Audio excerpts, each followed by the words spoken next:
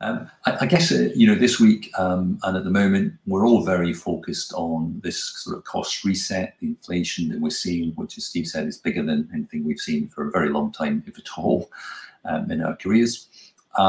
But in truth, what we're really focused on as a business and have been for a number of years and will continue to be is we'll deal with these events such as cost inflation that come along, and we'll respond appropriately to them.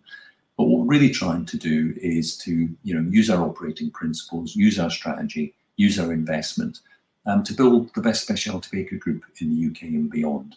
And by doing that, and by focusing on the right things with our customers, with our innovation, with our investment, with the way that we operate the systems, um, we believe that is actually the best way to create long-term value for shareholders. Um, so the focus today has probably been a little bit around, um, you know, dealing with cost inflation and the implications of that in the first half.